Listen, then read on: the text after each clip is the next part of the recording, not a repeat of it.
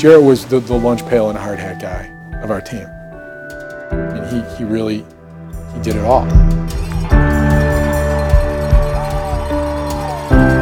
Played fullback, he carried the ball, he caught the ball out of the backfield, then he played defense, played special teams.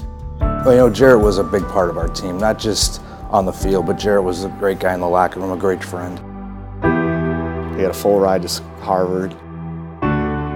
He was a smart, bright kid, infectious personality. People could lean on him. People could trust him. He was always there for people. He was so he was always this one of the smartest kids in our in our class. I think he was like number two uh, academically in our class. Jarrett taught me a great lesson when he was coming through Loyola. As a sophomore, we wanted to bring Jarrett up. I don't know if a lot of people know this story. Um, and Jarrett said no. I want to stay with my class because when we are seniors, we're going to win it. And at the time, I thought, wow, that's selfish. Why is, you know, he's not going to help out the program. It's not about the lower levels. It's about the varsity. And, and, um, and of course, I, I was not very smart, and Jarrett was.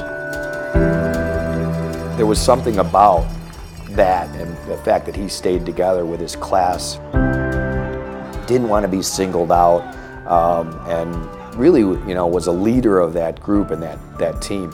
And when he passed, it was, uh, boy, it was, it was crushing. About a very special athlete, Jarrett Romanski of Loyola Academy, who was killed in an electrical accident while on spring break this week. Jarrett was a star running back headed for Harvard. His memory will live on and help those he left behind. I think we want kids to remember the goodness which was Jarrett Romanski and learn from that and become like him. And I think they can learn that, they can become like him, they can therefore not forget the good that he gave to all of us here. Outstanding student, uh, outstanding individual, uh, outstanding gentleman. Uh, involved in the ministry program. Again, he's got a lot of room, and he's going to go all the way for the touchdown. Me and my friends are trying not to dwell on the fact that Jarrett's gone. We're trying to dwell on all the good things, all the good times. Past, you know, day or two, we've been talking about all the good memories we've had, you know, with him, talking about good stories and stuff like that. And I mean, we know he's in a better place now. We know he's happy. So I mean, it's consoling to know that. I met Jarrett once a couple of years ago. He was a nice kid. He really was. Thank you, Tom. Thanks, Tom.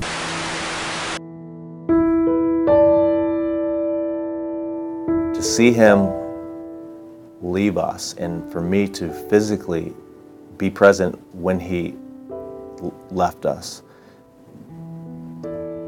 it was so hard. Um, even to the point where you're saying to yourself, why him?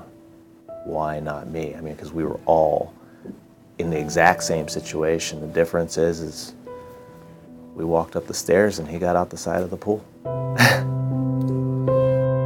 mean, it was a tragedy. Children shouldn't die, and 17 and 8 year olds shouldn't have to deal with death of their friends. It was, it was a very, very uh, tough time for all of us.